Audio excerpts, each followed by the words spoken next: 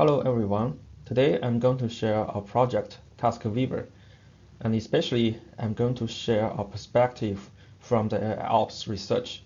And this is Liqun Li. I'm on behalf of the DKI AIOps team. Instead of directly diving into the technical details, I will start from a bit of the project history. Since started from the breakthroughs of large language models in reasoning and content generation led by OpenAI in late 2022. Since then, we started exploring various opportunities. Our team has been focused on AIOps research for many years. And in one sentence, AIOps is the application of machine learning and data science to enhance the efficiency and reliability for service operations, customer support, and DevOps. And in this area, we see many common requirements arise from different teams after the breakthrough of LLM. A lot of teams were trying to build a question answering system based on their own domain knowledge, such as troubleshooting guides or engineering docs. And another common requirement is to have the model to tag or categorize verbatims, for example, the user feedbacks. Although existing libraries like LangChain had provided solutions, we still see many challenges, especially for people who are not familiar with LLM development and prompt engineering. This motivated us to build a common platform to support those requirements. We call it Cloud Copilot. In the early days, we also call it Cloud GPT, so some of you may have heard of this name.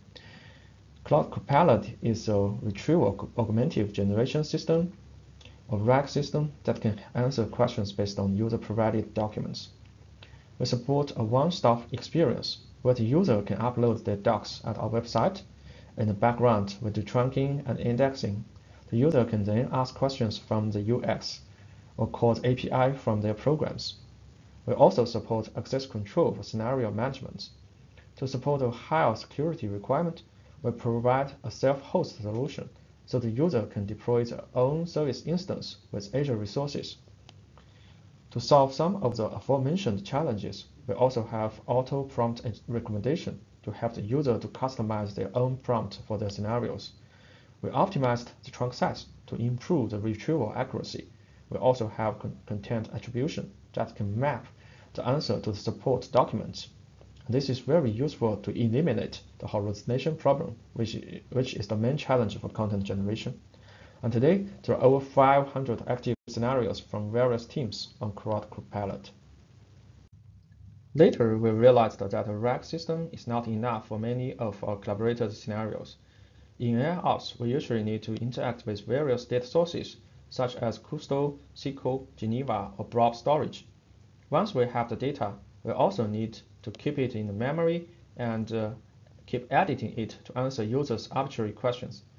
And we sometimes need to call the tools or APIs, especially different teams usually have their own troubleshooting knowledge, so we need to incorporate their knowledge into the system. In June last year, we released a library called Cloud Copilot Pro. The internal code name is Octopus. It's a library that can help the user to build a conversational AI system to interact with various data sources and tools. We call those tools plugins. We allow the user to add examples to input their domain knowledge to guide the model. Thanks to Octopus, users can much easily develop their own copilots and interact in a natural language way for data analysis and troubleshooting. Octopus can be viewed as a code interpreter. It turns the natural language queries into Python code and executes it. We use the chain of thought to generate the code. Chain of thought is a technique to have the model output some thoughts before the code, which is very useful for understanding and reliable code generation.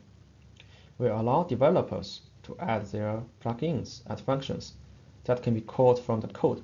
So they can call the existing tools or, or APIs. We also provided several built-in plugins for common data sources and diagnostic tools. Because data is processed in Python code, we can now represent it using native data structures such as the pandas data frame for data analysis. The generated code is run in an individual process to keep isolation and security. In one session, the user can interact with the agent many times, and the code blocks across different chat rounds are executed in the same process. So the execution is stateful. This is different from many existing frameworks, which cannot remember the previous generated code. Finally, the code can sometimes be wrong and we let the model to auto-revise the code based on the execution result, such as the exceptions or the log messages. Here we recorded a demo and feel free to check it out. Later, we however encountered some challenges when we are applying Octopus to some of our collaborators' scenarios. First, if the task is too complex, the model may fail to generate the correct code. And when the task is very complicated, the generated code can be very wrong and the generation is error prone. Although we have auto revision, it may not be able to fix the code. And a better solution is actually to decompose the, the task into smaller subtasks to solve them one by one. And the second challenge is that Octopus does not support observing the intermediate uh, execution result and reflecting on them and then refine the plan. So the two challenges motivated us to upgrade Octopus to a new framework called TaskWeaver. Uh, we inherited uh, the, most of the good parts uh, of Octopus and added new features to address the challenges. In, in this diagram here, we show the architecture of TaskWeaver, and the most significant change is that we added a task planner. The planner decomposes the plan into subtasks and then pass them to the code interpreter. The code interpreter generated, uh, generates code for each subtask and execute it. The execution result is then passed back uh, to the planner. The planner can then decide, decide the next step uh, based on the result. We have released the TaskWeaver as an open source project in GitHub in November last year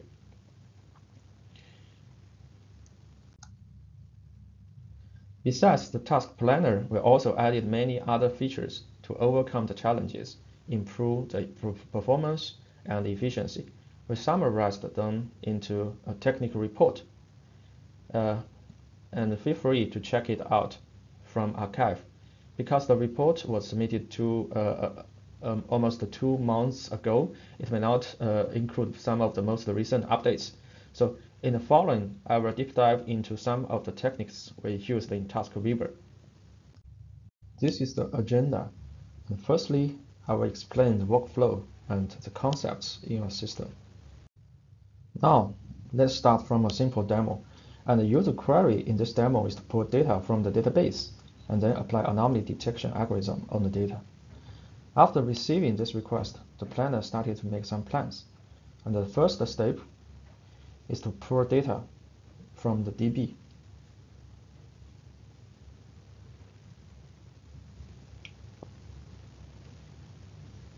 And now you can see the code has been generated. And now the code executor started to run the code.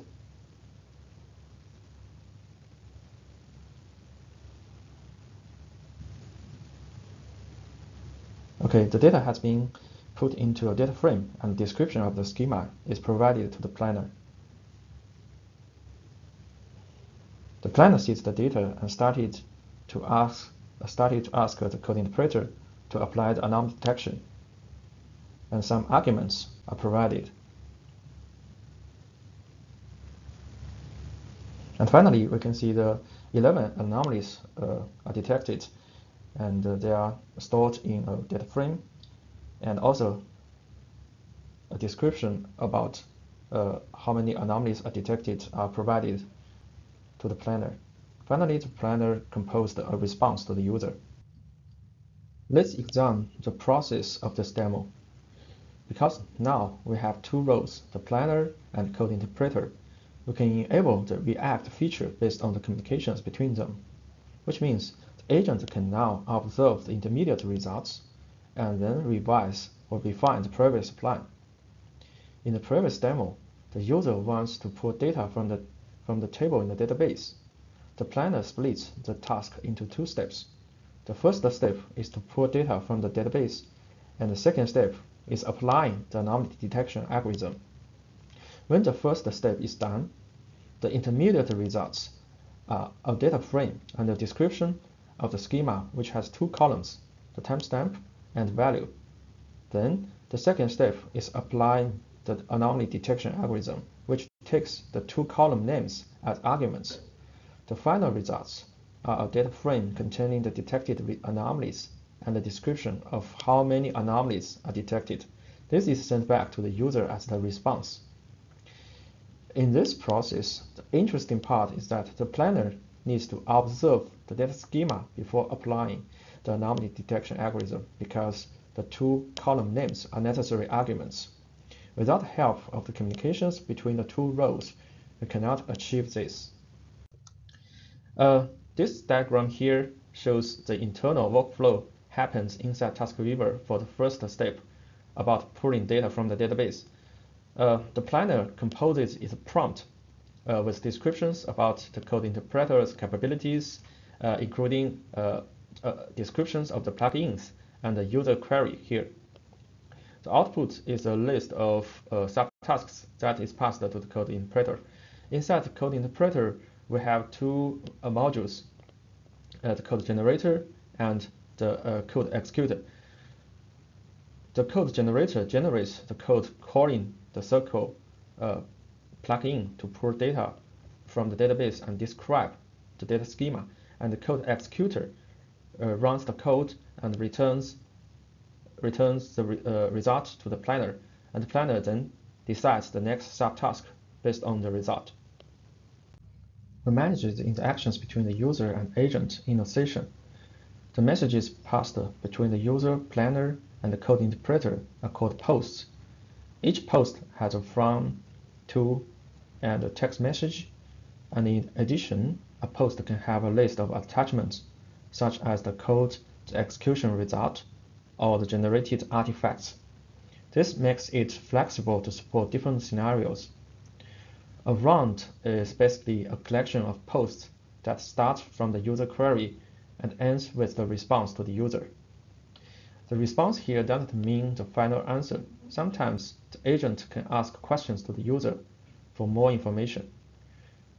We maintain uh, separate sessions for different users in the memory so the service can serve multiple users at the same time. Secondly, let's talk about uh, task planning. In general, the user's request is turned into a set of subtasks that are simpler to solve.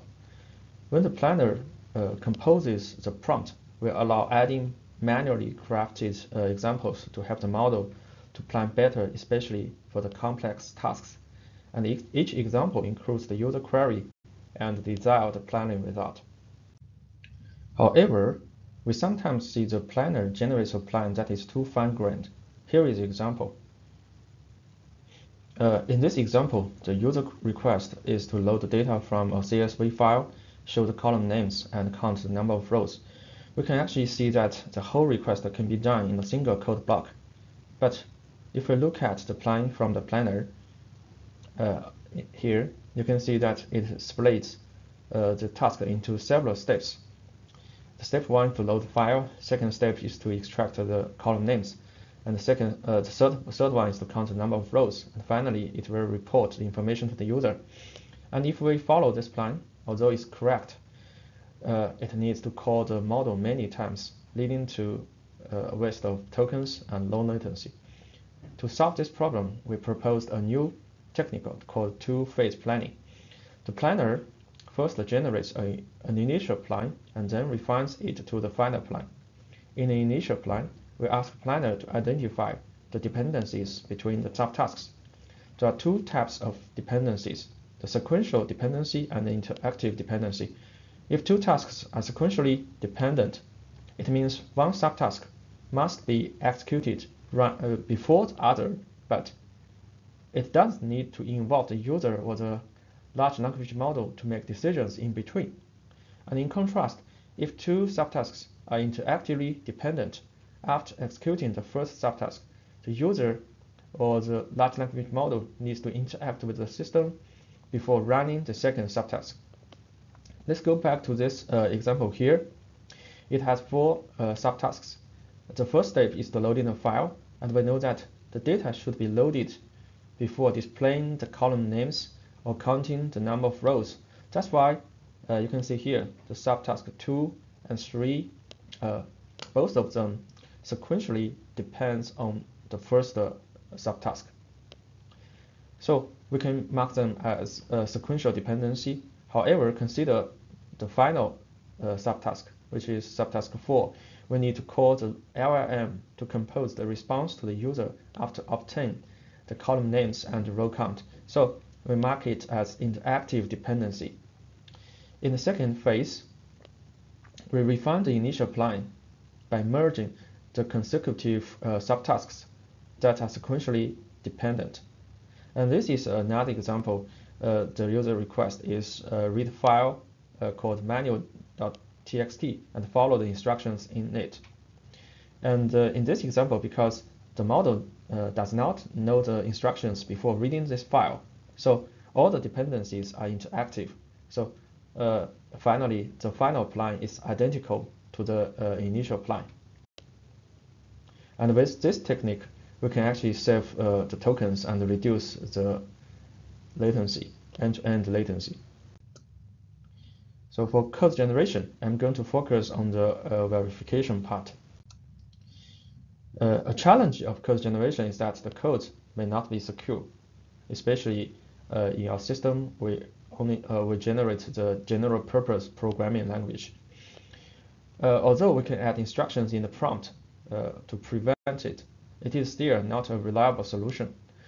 And that's why we propose the code verification process. And with, once the code is generated, we use the uh, code verifier to check if the code is secure.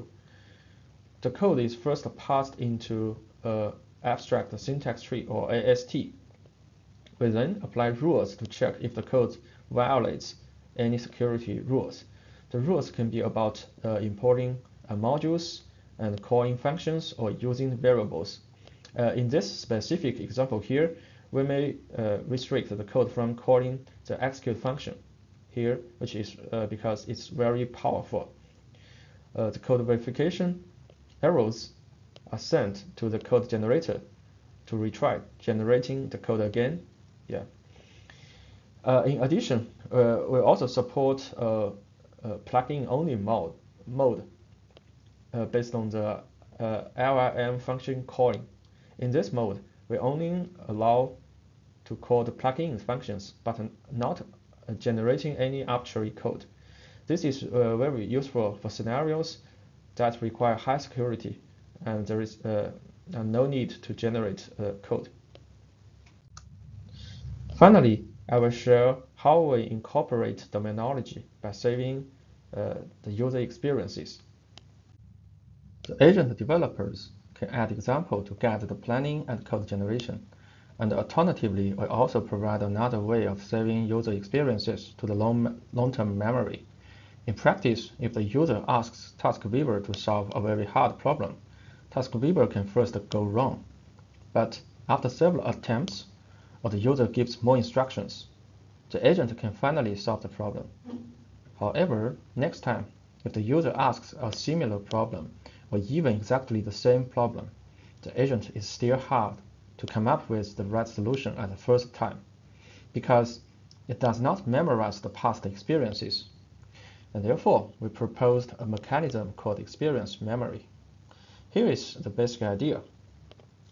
The user can issue a command to TaskWeaver to save chat history, and then extract the experience tips from it and save them into the experience pool. Later, when the agent sees a similar request, it will retrieve the experience from the memory to get its planning and code generation. And an experience tip is about what to do or, what not to do when seeing a request like this. We will add uh, the retrieved, retrieved experiences to the prompt when received a similar request afterwards. We also plan to support retrieving from a knowledge base, and currently this feature uh, is still an active development and not available yet in the code base. Here is a summary. TaskWeaver is a code-first agent framework for seamlessly planning and executing data analytics tasks. It has many features such as rich data structure, incorporating domain knowledge, customized algorithms, code verification, stateful execution, security consideration, and easy to use and debug. Some of our future work includes more secure and uh, isolated code execution, for example inside Docker containers, and better web UX and streaming support, and more AIOps, scenario integrations and more plugins. Okay, thank you. All right, hello everybody. Uh, I'm hello. Alex. Uh, I'm here joined with Liqun and Shilin. They're both the main authors of TaskWeaver, one of the agent frameworks that we've been building at Microsoft. And uh, as you may have seen from the, the talk just now, uh, it's a very interesting, very compelling framework that they've been building for a lot of the use cases that they're trying to solve for their customers.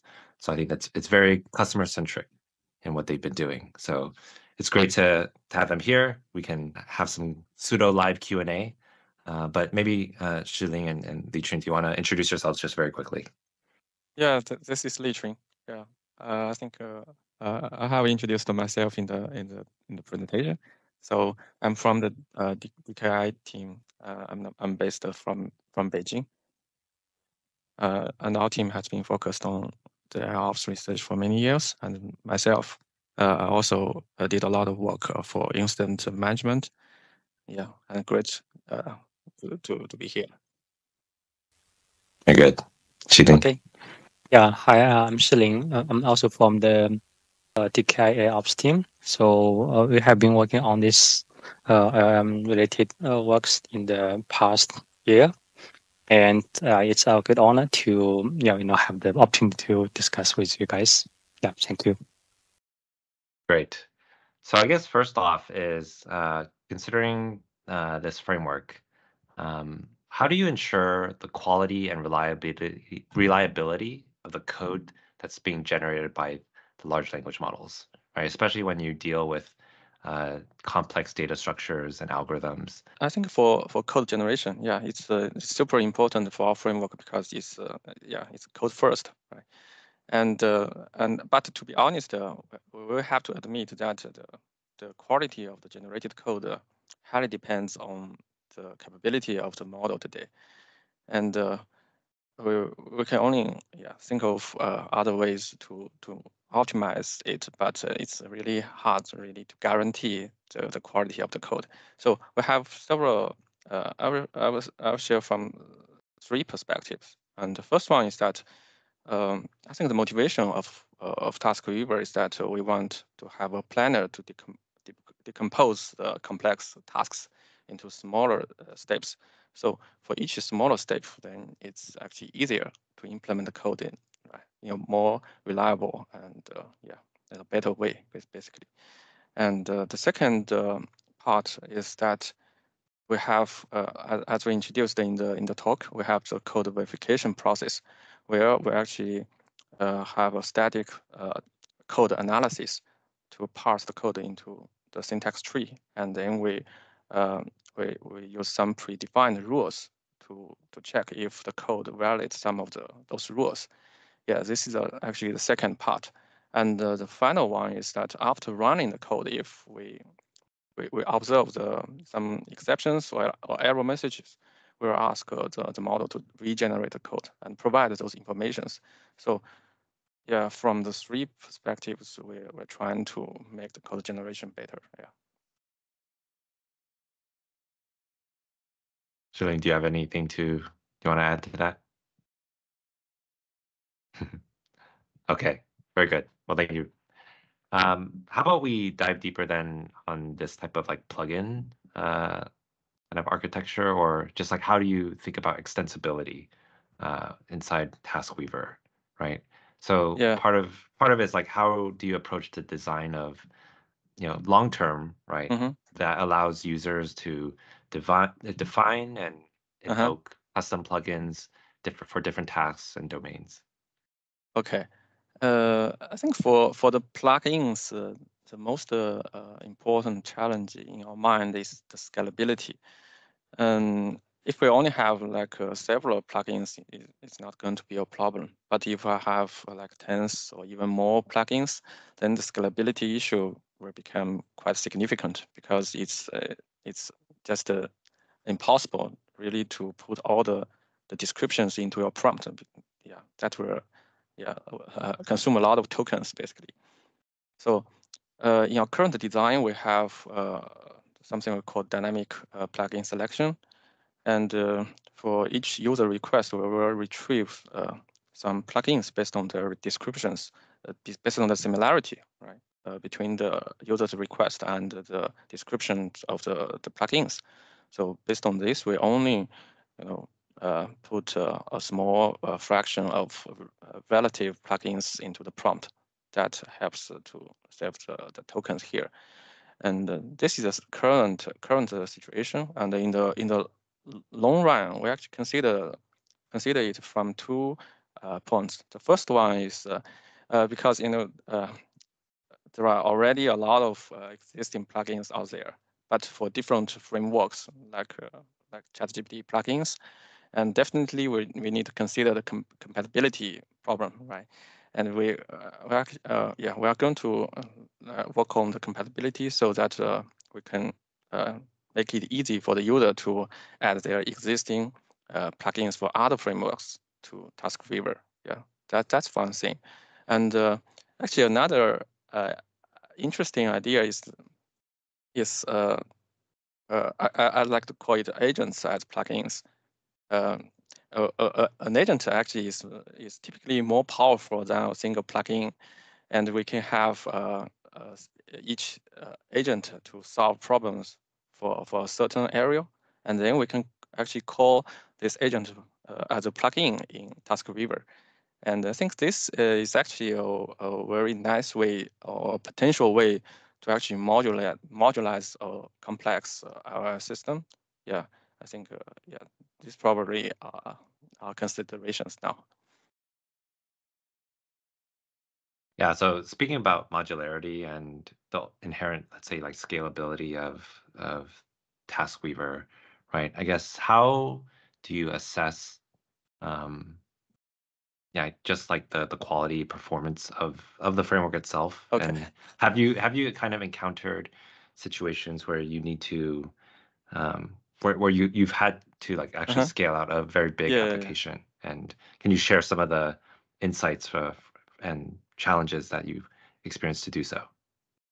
Yeah, and uh, actually, to be honest, uh, our, our current application scale is not really that large, right? So, so, but uh, we, we indeed uh, observe that uh, uh, some performance or scalability issue here. But but uh, uh, we can see that uh, the bottleneck is pro- prob- probably not at the framework. It's uh, it's actually more at the LLM inferencing right? You need to wait uh, like tens of minutes uh, to to get a response from the from the model. Yeah. That's uh, yeah. So it's more uh, restricted by the the model itself, and uh, yeah. And in terms of the the, the performance, we indeed uh, have some test cases to to test its capabilities. And if you look at the open source repo, we have um, I think uh, about 12 test cases, and uh, one, one each of those test cases is, is a workflow. We have the input and the desired output, and we also measure the uh, some of those uh, intermediate milestones. And finally, we, we can calculate a score for each uh, test case. And we currently use this uh, to test its its yeah its correctness, something like that. And but in the in the future, we we also plan to test the performance uh, with some benchmarks. But uh, we actually investigated investigated some of those benchmarks. Uh, it's actually a bit uh, a, bit tricky here because it's uh, it's actually hard to thoroughly test the framework, but put the capability of the model aside. So we, we really need to very carefully select the test cases and the benchmarks. Yeah yeah, that's for the performance and scalability. Yeah. Have you noticed any, let's say, inherent limitations in the framework right now? You, not, not, not the model, but yeah. just even uh, the framework. I mean, Okay, yeah, that's actually a very good question. I think uh, uh, instead of uh, directly answer this question, uh, I, I think we need to first consider the, the scenario. Um, I think uh, if you consider those uh, static tasks, right, maybe a flow is, is much better than an agent because it's it's more controllable and it's easier to optimize the, the flow to, to get better performance, right? So for those autonomous agents, I think maybe the, the, the scenario is more likely uh, to be fragile or, or, fragmented. So it's, it becomes hard to really to optimize its performance towards those fragmented requests actually. So in the, in this uh, suggest uh, in this situation, and we, we can see a significant uh, challenge here is that uh, the performance of the large language model actually can, can, can vary from time to time. Even you, yeah, because the model is actually changing, right? And even it's not changed, uh, you can still see the performance variations. So, so it's very hard to, to always guarantee a good performance under, under this condition. Yeah. Yeah, that makes sense. So one of the emerging ideas popularized by uh, AutoGen, right, uh, is mm -hmm. this concept of, of multi-agent, right, as opposed yeah. to single agent. Um, yeah. So I guess question to you is will Taskweaver incorporate these multi-agent ideas or do you guys plan to just continue to have it just be single agent? Yeah, what are your thoughts there? Okay, yeah, that's uh, that's another very good question actually. I think uh, first of all, multi-agent is a very uh, flexible architectural design. So we actually don't want to uh, really restrict uh, ourselves um, by insisting on either a single agent uh, architecture or a multi-agent architecture. Uh, it all depends on the scenario or the problem we want to solve. Um, we actually have uh, discussed this uh, this question in our technical report and provided two um, ways to to consider Taskweaver uh, in a multi-agent environment. And the, the actually the first uh, the first one is like a like I mentioned uh, about the agents as plugins. And other agents can actually be called from Taskweaver as, as plugins.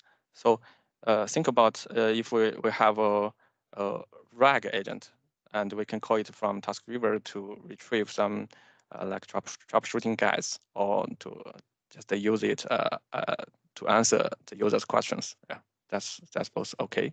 And the second point is that if there, there is existing uh, infrastructure uh, uh, of multi-agent, I mean multi-agent infra um, infrastructure where different agents can talk to each other through the net network, if that is the case, I think Taskweaver could be very easily to join the conversation with uh, other agents. Yeah, so it all depends on the, the scenario, I think. And do you feel like there is a kind of clear scenario where multi-agent is actually a good candidate or or more appropriate to to use to to solve that problem? Oh, yeah. Actually, we uh, because uh, we we actually work with different uh, collaborators for different uh, ops scenarios. We indeed see sometimes uh, multi-agent can be a, a better choice. Uh, one of those scenarios would be uh, we have uh, different agents and each of them can talk to, to the users, right? And that and uh, that will be very, uh, I mean, very uh, fl flexible because in, in the current in, in the TaskWeaver, I mean, if let's say, right, if you if you if you have task and we need to call the plugin, and but inside the plugin we need to get some information from the user, right? Then we need really to pass the, uh, you know, the, the, the ask from uh, the code interpreter and then to the planner and finally to the user, right? And I think in this uh, situation, if the, the plugin itself can directly talk with the user, that will be a better uh, way, right? Yeah, I think in this case, uh, a multi-agent framework would be more direct or, or more suitable for this. Yeah, no, that's that's very interesting, and I think we will continue to learn about what are these type of use cases uh, yeah. over time, certainly in the new year, and yeah, it's it's very exciting to to see. Uh, so I guess maybe to close us off, like, can you share any like last minute tips, any sort of like best practices, guidelines for uh, how you see users uh, being successful with TaskWeaver, um, building agents, building um, you know Mhm. AI applications. Yeah, I think today, although there are uh, actually quite a lot of uh, different frameworks out there, it, it is still non-trivial to, to really build a solid uh, Copilot experience.